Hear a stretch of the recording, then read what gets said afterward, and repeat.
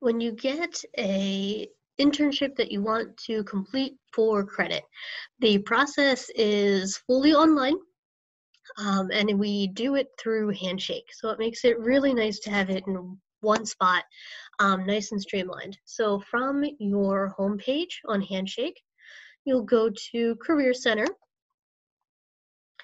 And then from there, you'll click on Experiences. Then we'll want to request an experience and you will get to fill in the details. So an internship, maybe I'm looking at um, fall 2020.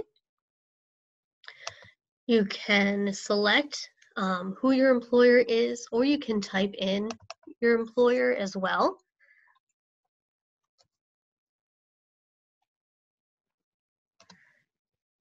Okay the location, um, the industry, phone number, email. This is not required. It is helpful, but as long as we have the employer name, that's what really matters. You'll get to talk about your job. So I will be a bank analyst intern. Um, you can indicate the department that you would like. Um, the dates, so when you anticipate starting, when you anticipate ending, um, the job type, so an internship. Um, you can list if it's paid or not, that's totally up to you.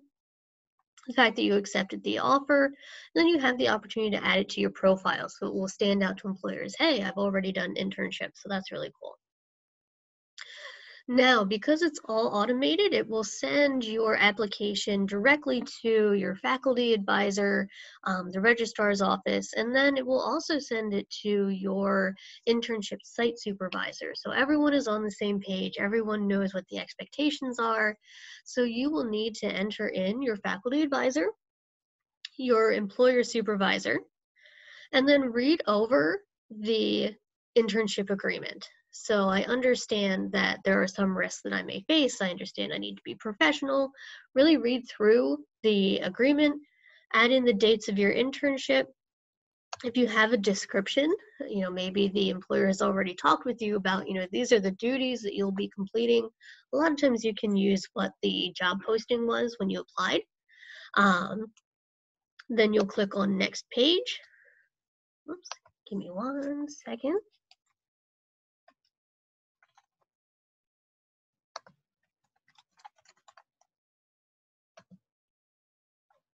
Then it will walk you through the responsibilities.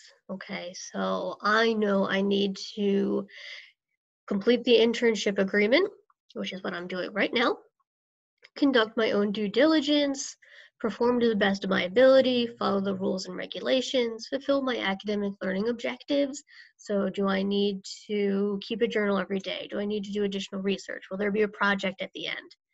Um, if you need any point you need to change this agreement or your duties or um, you feel like you know maybe something is amiss and you need to let someone know you'll notify the elcdc as well as your professor.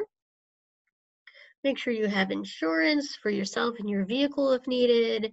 Um, you are responsible for any of your taxes and everything if it's a paid opportunity.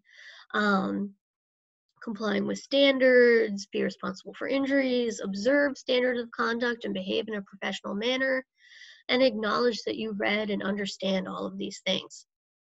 Once you hit request experience, your faculty advisor and your internship site supervisor will be notified. They will get their terms of agreement to complete. Once everyone acknowledges what they need to acknowledge and signs off what they need to sign off, it'll automatically go to the registrar who will make sure that it gets noted and added to your transcript.